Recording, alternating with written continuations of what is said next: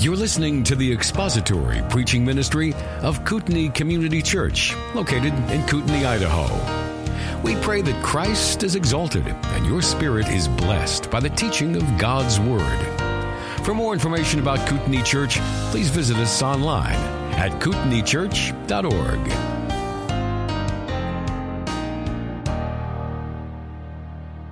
I invite you to take God's Word and open to the book of Proverbs chapter 23.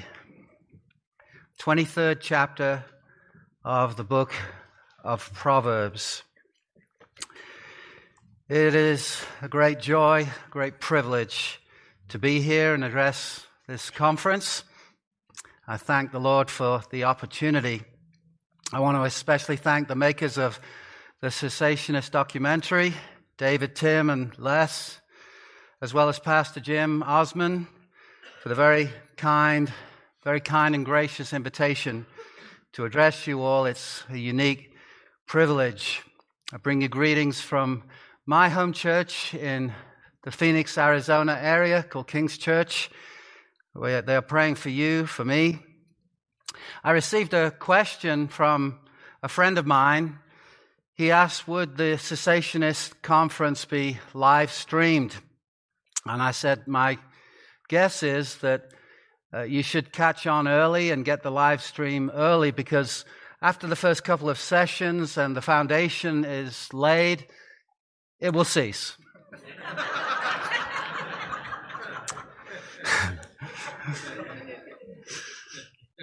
it's really a privilege to be here, and what I'm about to do is a departure from the norm, which is to open up the text of Scripture and go there and stay there and make application from it. And I think, though, it will help the conference to share something of my testimony, my journey in, and my journey out of the charismatic community. So let's go to, go to the Lord and pray.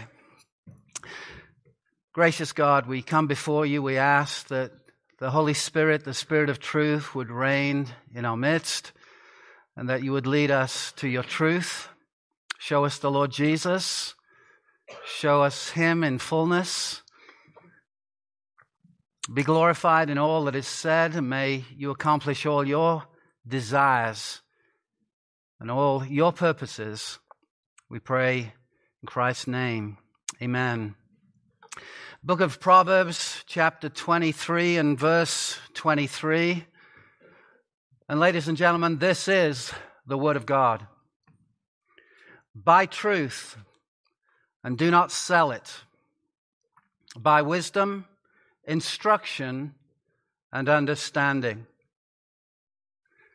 The writer of Proverbs is instructing us, and he tells us buy truth and do not sell it. Buy the truth and sell it not. We're not told the asking price of truth. We're not told that. It may seem very affordable. It may not. It may seem out of reach. It might seem too expensive. But that should not hinder us. We are told buy the truth. Whatever the price, whatever the price of truth, no matter how much it costs, whatever the asking price, you buy it. Though it costs relationships, though it costs a marriage, though it costs a family, though it costs a church, though it costs you your life, buy the truth and don't sell it. Truth may be very expensive, but so is the cost of error. So is the cost of lies. So is the cost of heresy. And in fact, it is far more costly in the end. Ladies and gentlemen, buy the truth and sell it not. I did have a Christian upbringing. My father was a preacher. At times, he was a pastor. He was a street preacher. He pastored a number of different churches, and yet I've begun to speak about it just in recent days. He was also a wife beater. Often I try to go to sleep at night hearing the screams of my mother in the next bedroom. I never heard him apologize or repent. And because of that, I think, as a young man, a young boy, didn't really have too much of an interest in what he had to say. I had no heartfelt interest in Christ. I remember at age eight seeing my dad read his Bible as he was preparing a sermon. He left the room, but he left his Bible open, and I just thought I'd read what he was studying. I looked at the passage and couldn't make any sense of it at all, and I made an internal decision then and there that this wasn't for me. Even at that age, I wanted to become a professional soccer player. I had no interest in Christ or the church. But at age 14, my dad actually did ask me to go to a message, a, sermon, a, a church service where he knew the gospel would be preached. It was actually a Pentecostal church, which kind of surprised me. Uh, looking back, it surprises me. And in hearing the gospel, it was as if the Lord Jesus stood off, stood out from the pages of scripture and he became a living reality to me. I went into that meeting not interested and I came out interested. Now I understand that the Holy Spirit was at work, the invisible divine surgeon who took out my heart of stone and put in a heart of flesh. What a divine miracle. And at that moment, I wanted what I didn't want before. I wanted Christ. I knew that I could not stand before God and make the excuse of my dad as the reason I could not come to him or serve him. I knew he was real. One day I would stand before him. Uh, I knew it. And I repented and I believed the gospel. I believe I was genuinely converted, but I was immediately thrust into that Pentecostal church and then uh, not too long afterwards into a charismatic church further south in England. I grew up in Chester, England, a Roman city, and it was built in the 70s. That's the AD 70s. Has a lot of history. But I remember after a few short weeks being confronted by an older gentleman, I still remember his name, John Lloyd, and he had a ministry of helping people into the baptism of the Holy Spirit. And for 20 minutes, maybe 25, it sounded and felt like an eternity to me. He was praying over me and instructing me that if I were to ask for the Holy Spirit, I would not get anything or anyone else. And so, in asking for the Holy Spirit, he then expected me to speak in a new tongue. And he was jabbering some words and just telling me, say whatever comes to mind. And I thought to myself, nothing is coming to mind except I want out of here. And he kind of almost danced with a holy jig when I mumbled a few words, and it was just to get him off my back. He said, That's it, that's it. I said, He said, That's it, that's it. Just continue in that new language, and it will develop. And I, I thought, Really? I just said that to get you off my back, but uh, I didn't say it out loud. But I then developed the language and I was able then to speak in tongues at will and understanding that the word tongues is kind of misleading. It would have been better if the, the translators of scripture had uh, translated the word into English as languages. They spoke in other languages. But there we go. I was speaking in tongues and off I went. Immediately, I then, within a few short months, went to the south of England, to Somerset, and I attended a church where a certain gentleman became very prominent in my life. The name was Harry Greenwood. I was so in awe of him, I saw him as my spiritual father in the Lord. I got to know him as a friend. He had a home group, and he was regarded by many in England as the Kenneth E. Hagin of England. He never made that designation himself, but he was revered in that world in that way. And I became his friend and just was in awe of his relationship with the Lord. And I have nothing but good things to say about him uh, as a person, though now I reject many of the doctrines he espoused. I was word of faith. I was charismatic. I come, in fact, from a family where even outside of my mum and dad, I had an uncle, Kenneth Matthew, who was very prominent as an Elim Pentecostal minister, very prominent. I also had another uncle called Floyd. I had an uncle Ken, and I had an uncle Floyd, Floyd Agar, and he was Smith Wigglesworth's driver. I don't think I've ever told you that, Justin. So even from that quarter, Justin mentioned Smith Wigglesworth last night, and I'm thinking, yeah, he was influential in my extended family. And Floyd had much to say in terms of reverence for Smith Wigglesworth. So all this was part of my heritage. I was word of faith and charismatic. I, I need to say this all word of faith people are charismatic. Not all charismatics are word of faith. And so I spoke in tongues, and uh, even though this was a very lengthy and forced uh, entrance into it, I developed that prayer language, and I thought I had close intimacy with God. Um, the Holy Spirit was helping me understand the Bible, and I was hearing from God between my ears. I was reading the Scripture. I was uh, one of the initial effects of being born again was that before I had no interest in the Bible, now I couldn't get enough. I was spending allowance money to get hold of cassette tapes, which ages me, to hear teachers teach the Word of God. I was told God is speaking to you in your mind. Uh, it comes across as thoughts in your mind, and it sounds like your own thinking because it's a walk of faith now I think, well, how do you discern the difference between your own thinking and God speaking? And I don't know if there's a genuine answer for that out there. But it sounds like your own thinking because the Christian walk is a faith walk. Within a few months of being down south in Somerset, England, I was exposed to the ministry of Kenneth E. Hagin and Kenneth Copeland. If you're in the movement, those uh, names are prominent, although uh, Kenneth Copeland is kind of aging and Kenneth Hagin has passed off the scene. But in jargon, we would say Copeland and Hagin, Copenhagen. I immediately, after I was converted, felt a call to the ministry, and at age 16, didn't go the way that uh, most thought I would, which would be to pursue professional soccer in England, football as it's called there.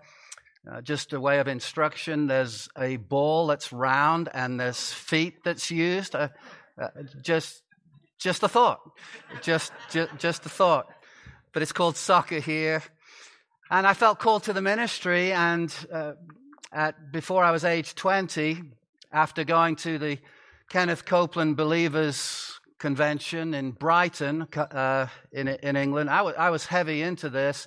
I then had a desire to go to Rhema Bible Training Center in Broken Arrow, Oklahoma, suburb of Tulsa, and I was all set to go. I was accepted to go.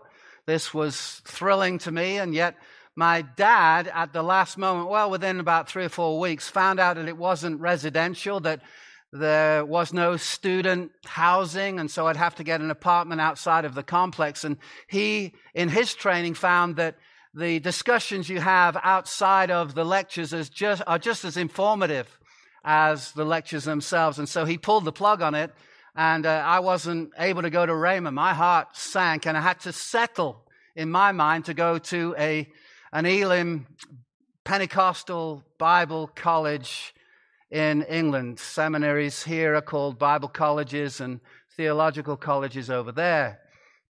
And so I enrolled there thinking I was letting the side down, so to speak. Except that all of this was in the hand of God because 80% of the lecturers, believe it or not, in that environment were reformed. At least in their soteriology, their understanding of salvation. They never walked me through why, they never uh, uh, unveiled the beautiful tulip to me. They did not speak in those terms, but I understood they were reformed. They believed in the sovereignty of God. In fact, the dean of the college, who was converted under my uncle Ken's ministry in his very living room, he would speak in tongues in the meeting and go to his home and read John Calvin's Institutes. Put that together. For that was the case. But what it did was it instilled in me an, a reverence, or at least a respect, I'd say, for Reformed Bible teachers. I at least knew they were saved. I at least knew they were in the kingdom of God. They had sound theology in many, many ways, and yet uh, I was embracing what I would now call an over-realized eschatology, uh, an understanding that what will await us in the future was available to us now. And that's why I would believe and teach the message that God wants you well. I would uh, hound fellow Christians who would not hold that. What is it about by his stripes you were healed you don't understand? Uh, that you've been blessed with every spiritual blessing in heavenly places. Have been blessed. Past tense. You see what I'm doing? I'm over realizing what will take place then and seeing it always as now. Healing and abundance is available now. Healing is always God's will. Well, after graduating, I then became the associate minister of Harry Greenwood. He referred to me as his young Timothy. He was a massive influence, and I lived in the same house and traveled the world with him. He would often be speaking at very large churches as well as small, and he would ask me to speak for 10 minutes, and uh, then he would either correct the mistakes or, or, or leave it alone and preach. He was the main minister, of course, but it was tremendous training. And I was with him for nine months, and he was preaching that healing and health is available to all except that he died after nine months of a heart attack at the age of 54, and my world fell in. I had no idea what I would do. I was still in my early 20s.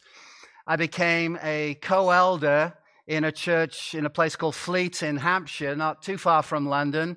And my fellow elder was a year and a half, I think, older than me, and I was 22. So work that one out. Elders, 22 and 23, 24. But uh, after a few years, I had a desire to come to the States. One of the countries we had uh, visited while I was with Harry was the United States, and I just had this love for the United States. Uh, we had gone to the United States, to India, to Australia, and New Zealand, me as his associate minister, and I'd come back to the United States. A number of churches had asked if I would come.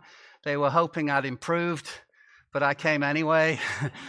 and uh, it was just a, a wonderful a connection I had with the United States. And came out here eventually in 1992 with the purpose of starting a Word of Faith church, which I did, starting from scratch. I couldn't be more involved in the Word of Faith. I was a pastor in it.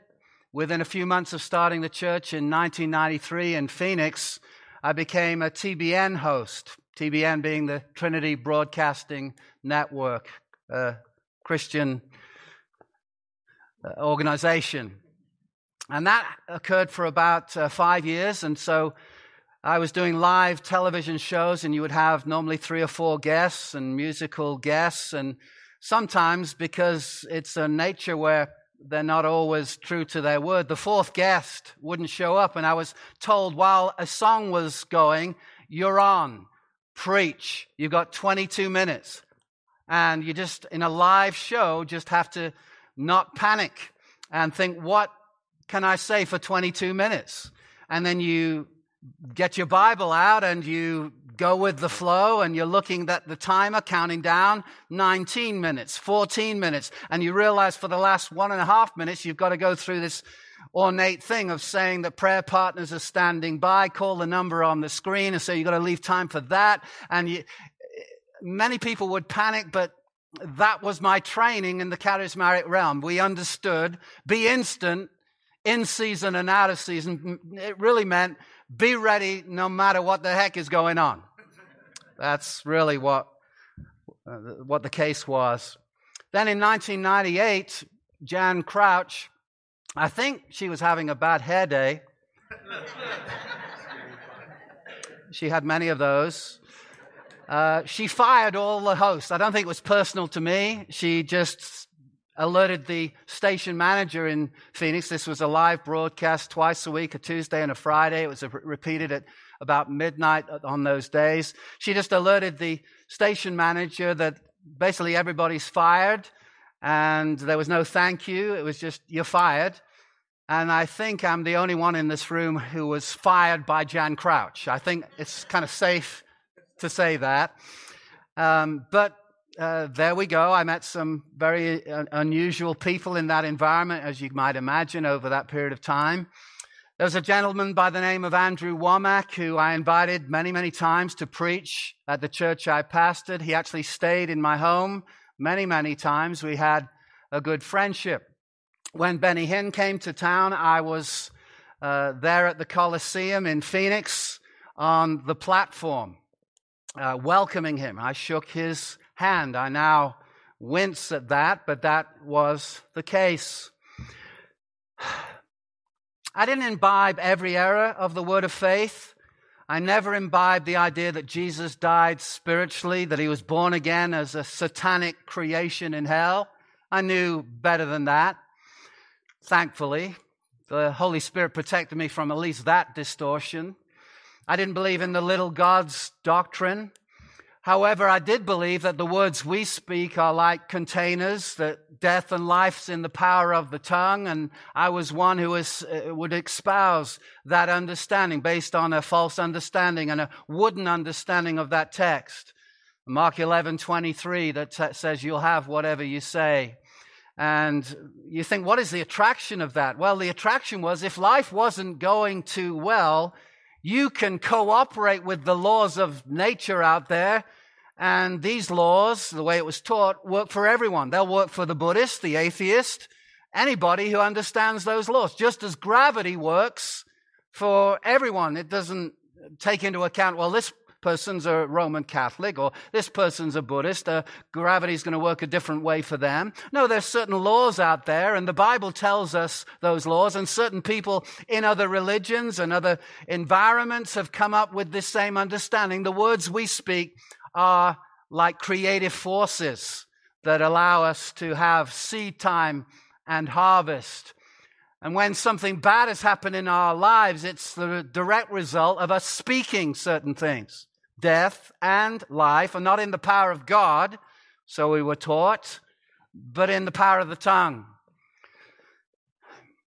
I still believe the verse. I don't believe the interpretation of the verse. Yeah. So what happened? I ain't that anymore, you noticed? I'm now a Reformed Baptist pastor and a committed cessationist. What happened was in the year 2000, now the church had grown to between two and 300 people. It started from scratch. Just a fun story. When we started, uh, we were believing God for revival, and we rented a, a, place called the Arizona Banquet Center. It no longer exists, it's now uh, a gas station. Um, but we rented this place, and on Thursday, which was our midweek meeting, counting's never been a, a good thing for me. So midweek was Thursday. That was our, our midweek meeting. And um, we put loads and loads of rows of chairs out, even though we'd only had 18 on the Sunday. Think about that. Not very wise, but uh, we, we said we'd, we'd meet on, on Thursdays, and we did. And it came time for the meeting, and I realized only the Samsons were there. Uh, Samson Family Church. Uh, only us Samsons, the family name, were there. And we thought, well, do we go ahead? The Phoenix Suns were in the playoffs. It was 1993. They went all the way to the final. It was a great year. I thought they did that every year. Um, but no. And um, we said, well, well, we'll go ahead. And we're into the third song. And this one gentleman walks in. His name was Ed. I still remember him. And he sat on the back row, of course. And it came time for the announcements, and rather than announcing them, I walked up to him and said, You're the only guy who doesn't know what's going on. Here you go. Here's the announcements. And uh, he sat on the back row, and all day long I'd been praying and praise, uh, pacing and praying in tongues, wanting God to show me what to preach. And what was on my mind was, Repent, for the kingdom of heaven is at hand. The poor guy. all I could do was look at him. And he was there on the back row. And so I looked at him and said, repentance means a turnaround. Have you turned around? What evidence is there that you have turned around? Poor guy, it's like rent a sermon. and so he was blasted for about 40 minutes. After 40 minutes, I laid down my weapons and closed. And uh, that's not really the funny part. The funny part was afterwards. He came up and he said, um, Pastor John, uh, I just have to say, I, I really felt that that message was for me.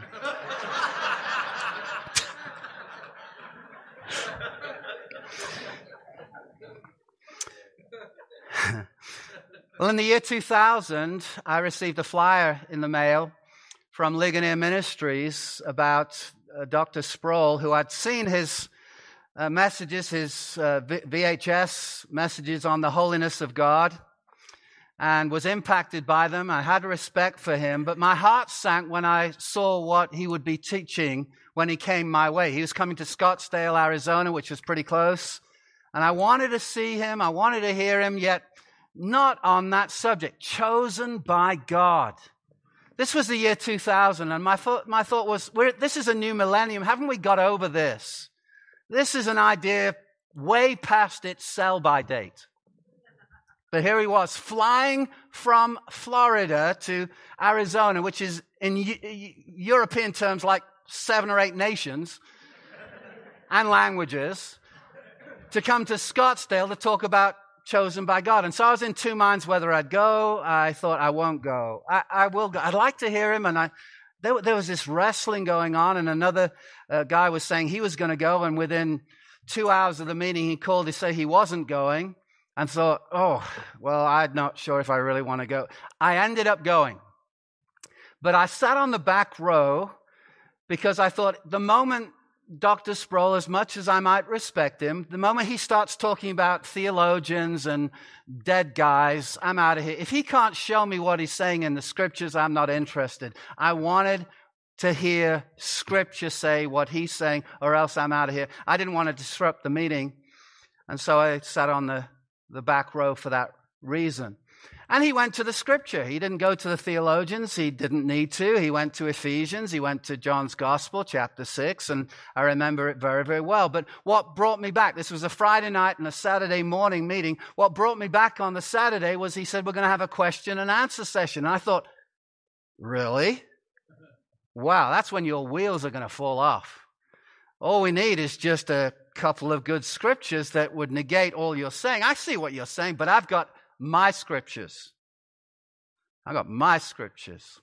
John 3:16, 2 Peter 3:9. Well, I attended the question and answer, and uh, as the session was about to start, Dr. Sproul came out all jovial, and I thought, we're going to wipe the smile off your face. and uh, he said, What's the first question? Then he said, No, no, no, wait. I, I think I can prophesy what the first question will be.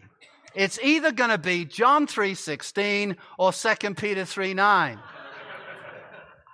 I'm thinking, yeah, and the the host said, "How did you know that?" Because I've taught this, I know what comes up. And what he did then was go to those scriptures. And I thought, what's the point of going to these scriptures? We know it. Every Christian can quote this in their sleep. Punch them at two in the morning. They still know what John 3.16 says. What are you going to show us? That's all in my head. He went to the text, and in two minutes, he exposed my traditions. He said, This is what we read into the text often, but if you notice, it doesn't actually say this, it says that. It says that all the believing ones will not have this result, but that result. They'll have eternal life and not perish. It does not say who will believe. It does not say who can believe. That's something we read into the text.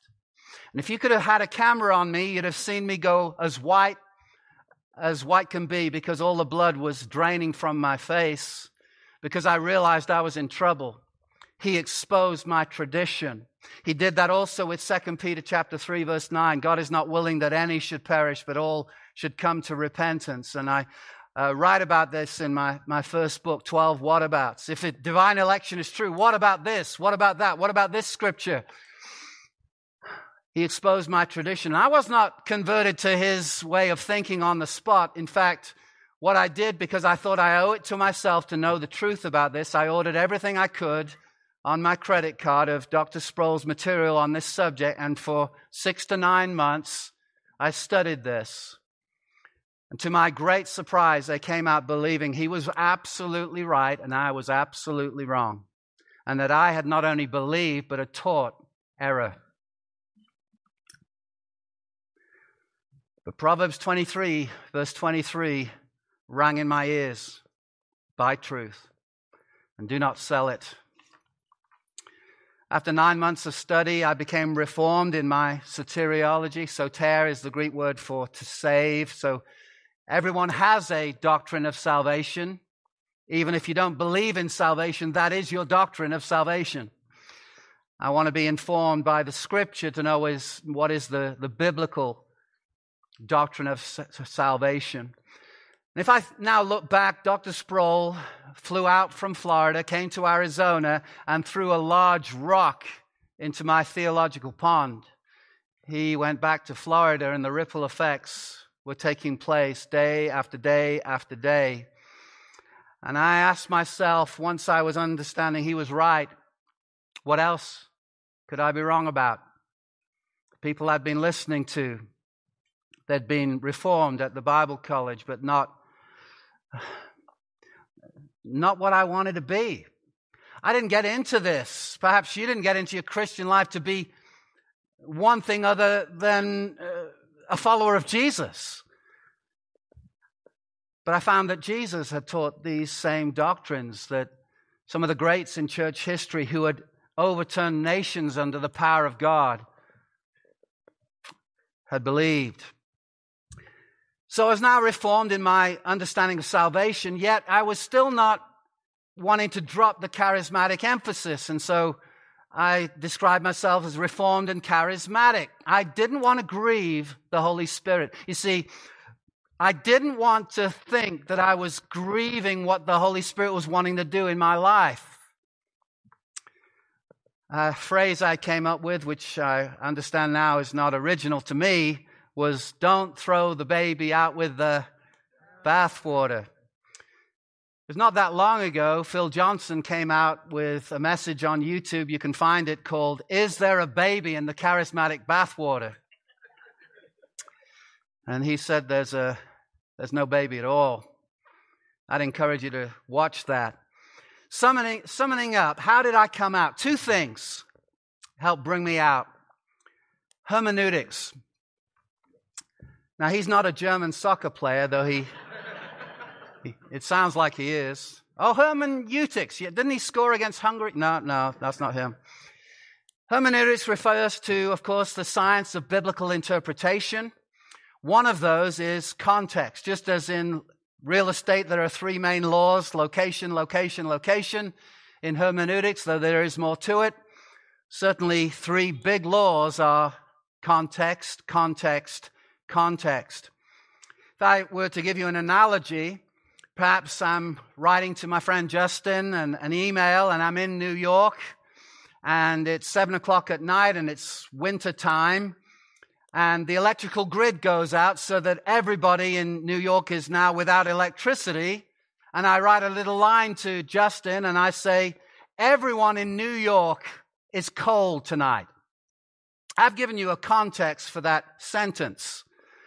But what we tend to do in the charismatic realm is isolate certain words and not see them in the context. And so, using that as an analogy, it would be wrong for someone reading my interchange with Justin to say this. John Samson says, Everybody in New York is cold. They don't like, uh, like outsiders. They hate visitors. Don't go there. They're unfriendly. Look at the text. Look at the email exchange. Everyone in New York is cold. But because of context, you realize that's to be rejected as a true interpretation because I was not speaking about warmth and empathy, but about physical temperature and warmth. And everyone in New York is cold because there's no heating available. So it is in the realm of the charismatic sector. Over time, I realized that seeing verses in their context meant many of the doctrines I believed and espoused had to go away. They were not supported by the biblical text. When it comes to 1 Corinthians 13, the tongues of men and of angels, if there's not a, a, a, speaking forth of the languages of men, it must be this angelic thing. But if you actually read 1 Corinthians 13, Paul is expressing hyperbole. Thing after thing after thing in that context points us to that conclusion. So hermeneutics was big. For anyone in deception, which we all tend to be prone towards, and it's only the Holy Spirit who keeps us from deception or brings us out of it. Left to ourselves, we are blind to the things of God, or things uh, are fuzzy to us, but the Holy Spirit, the Spirit of truth, will guide us into the truth of His Word. And it's the Holy Spirit who gives us a thirst and a desire to know the truth. And I would say now to my charismatic friends, I've had many conversations and they quote a passage to me and they quote a verse to me and I say, could you take two minutes with me and look at that verse in, the, in its context? And the answer is no, I don't need to. So now I look back and think the desire to study this, the desire to study the scripture, that's the Holy Spirit at work. I can't even take credit for that. God gave me a desire for truth. That's why I came out. Even that desire was Holy Spirit born. Second recognition, helping me come out, was a doctrine called sola scriptura, which states that the Bible alone is the Word of God. The, the Bible is not only necessary, but it's sufficient as the Word of God. Ladies and gentlemen, Scripture is enough. It fully equips the man of God for every task of ministry. And that's what the Holy Spirit has breathed out to let us know in 2 Timothy 3 16 and 17. Paul, in saying goodbye in a letter form to his son in the faith says, I'm going off the scene. But scripture is all you need. It equips you for the counseling you do, the evangelism that do, you do, the uh, equipping of the saints for the work of the ministry. Whatever the task of ministry is, the word of God not only equips you, it fully equips you for everything you're going to face. I'm not leaving you with Big Pete's email address if you have some issues. I'm not giving you his uh, residence address. You don't need Peter, you need Scripture. Scripture alone is all you need, Timothy. And as a herald of the king, preach the word in season and out of season. That's the very next chapter. And then he says, I'm being poured out like a drink offering. I'm about to depart, but I'm leaving you with the most important message. Scripture's enough. The Holy Spirit inspired Bible tells me that Scripture is enough. That's it. The Bible alone has the authority to bind the conscience. Luther at the Diet of Worms in 1521, when he was going to be sentenced to death, probably, and he knew it, came out with that immortal speech Unless I am convinced by sacred scripture or by evident reason, I will not, I cannot, I cannot and I will not recant of anything. For my conscience is held captive by the word of God, and to act against conscience is neither right nor safe. Here I stand, I can do no other. God help me. Hier stehe ich, ich kann nichts anders. Gott helfe me in German. God helper mir. And an understanding that scripture alone has the authority to bind the conscience. When I realized that, I realized this. Nothing that had ever taken place between my ears rises to the level that it can bind the human conscience. Nothing. I cannot say, I have this word that I believe is from God and it is binding upon you now as you hear it. But I can say that about Scripture. When God speaks, He speaks with all His authority. It's not like you, he, he turns the volume down and the, the power down. And on a particular Tuesday, he's functioning at 70% capacity. When God speaks, God speaks. I can look back and think that though I had an unusual experience many, many times and I thought I was hearing from God, I could never say with 100% certainty, I've just heard from God. But when I read my Bible, I'm hearing from God. And that's Jesus' testimony. In Matthew 22, in debating with those religious people that were against him, Matthew 22, verse 31, you read it. He said these words, quoting the book of Exodus, have you not read what was spoken to you by God? Have you not read what was spoken to you by God? And quoting the book of Exodus, they were living centuries after the time of Exodus. But in reading Exodus, Jesus' view of Scripture was this. When you read Scripture, God is now addressing you personally now. Every time you hear, every time you read, God is addressing you. And I realized that was not true of what happened between my ears. I could never say what I think my thoughts are binding upon you. I had a view that the Word of God was kind of dead till the Holy Spirit came upon it. The letter killeth and the Spirit giveth life misapplication of scripture once again. But the Bible itself said the word of God is living and active and sharper than any two-edged sword. We have a more sure word, and Peter was talking about the greatest experience anyone could possibly experience. Hearing the audible voice of God, the transfiguration of Christ on the mountain.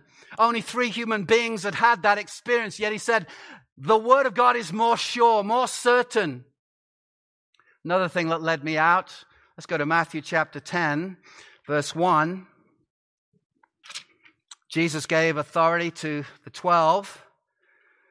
Matthew 10, 1, and he called to him his 12 disciples and gave them authority over unclean spirits to cast them out.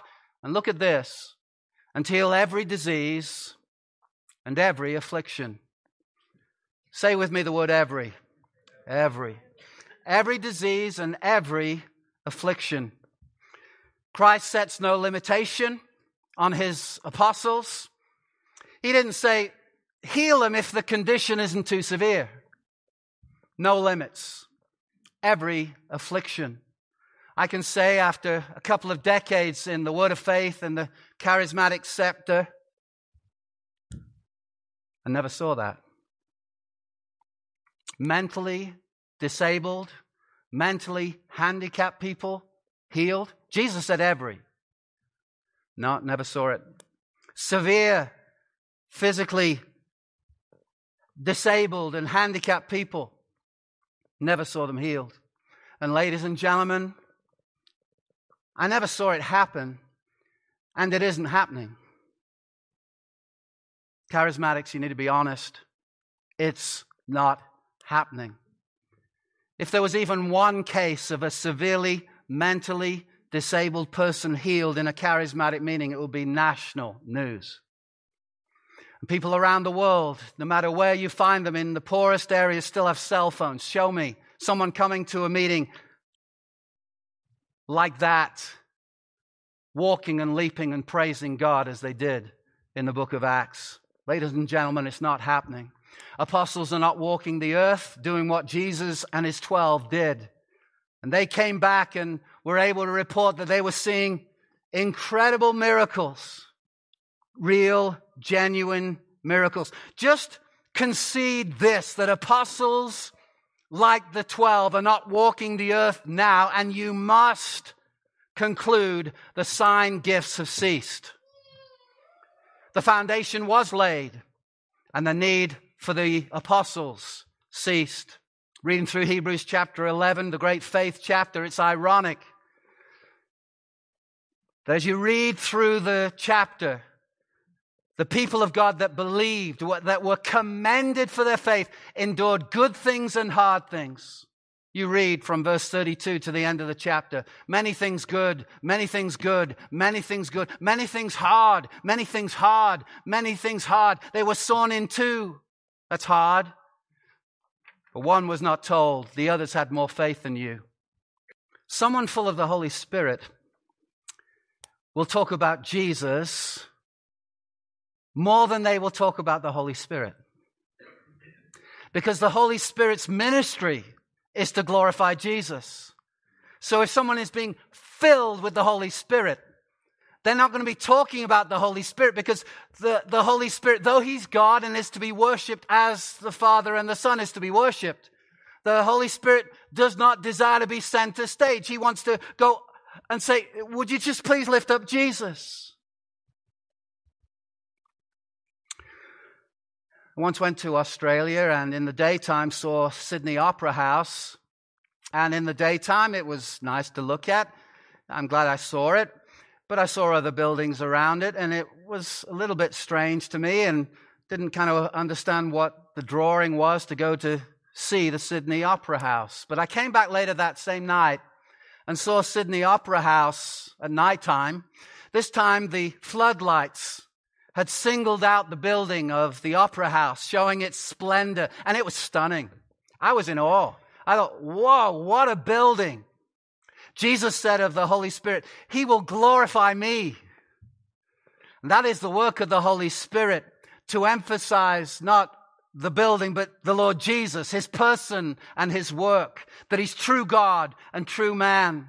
And when the floodlights do their job, no one goes away talking about the floodlights. They talk about the building, and someone full of the Holy Spirit talks about Jesus.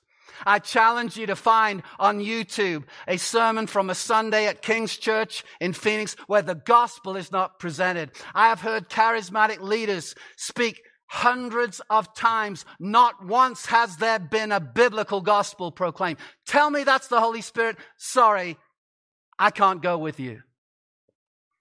The Holy Spirit will show us Jesus and will anoint a man of God to proclaim the gospel of Jesus Christ. And even in this environment, I want to tell you the gospel of Jesus Christ. That though we had been treasonous rebels, committing sin before a holy God. God, in his love for this world, sent his only son into the world who was born of a virgin, lived a sinless life, and there on the cross endured the anger, the wrath of God due to us for our sins. He absorbed that wrath. He was punished in our place, and he died on the cross for sinners. And three days later, he rose again from the dead and is now at the place of all authority in this universe. And he says, all authority has been given to me in heaven and on earth. And anyone who repents and believes this good news is set free from the kingdom of darkness and has eternal life forever and ever and ever by the person and the work of the Lord Jesus Christ alone. The Holy Spirit's in that, that message. And someone filled with the Holy Spirit will preach that message often to the delight of the Holy Spirit. Another reason I came out of the charismatic sector is because of reading Ephesians chapter 2. You remember there that we're told that the big barrier between Jew and Gentile has been torn down. Notice it was a barrier that was first of all erected by God. God erected the barrier between Jews and Gentiles. Now in Christ, he was tearing it down and he has torn it down. God in Christ has demolished the wall. Ephesians 2:14 He has broken down in his flesh the dividing wall of hostility. A reason I reject charismatic doctrine is because charismatics build the wall back up between the haves and the have-nots. They proclaim a two tier Christian community. According to Dan Phillips, the saints and the ain'ts. but that is, in fact, the exact opposite of the true work of the Holy Spirit. Selah. Stop. Pause. Think about that. Meditate and ponder. I've lost friends. I've lost a number of things because I've come out of that. But I thank God for the deliverance. I thank God that I'm seeing in Scripture the truth of His Word and that I know when I'm hearing from God, when I'm reading my Bible, that it equips me for finding the will of God. It is sufficient for guidance. It is sufficient for counseling. It is sufficient for every need of life and ministry. And it's the Holy Spirit who has affirmed that to me in His Word. Set free from trying to find the breadcrumbs of what is God leading me to. Uh, did I catch everything He's trying to tell me? Uh, uh, I, am on channel 32 watching and I'm thinking, I'm seeing something about Seattle coffee. Is God calling me to Seattle? Oh, and the panic of, am I finding the will of God here? No, I've got scripture. It tells me what the will of God is. And whether I go to Seattle or Portland or Belgium, the will of God is my sanctification. Find a local church. Read your Bible. Love God and love people, and you're in the will of God. I reject that which I was raised in because the Holy Spirit, the Spirit of truth, though I still have a long way to go, I have not arrived, but I thank God I've left. May He always lead us into His truth. Thank you for listening to the latest podcast from Kootenai Church. If you'd like to learn more about Kootenai Church or to donate to our church ministry, you can do so online by visiting kootenaichurch.org. We hope you enjoyed this podcast and pray you'll join us again next time. Once again, thank you for listening.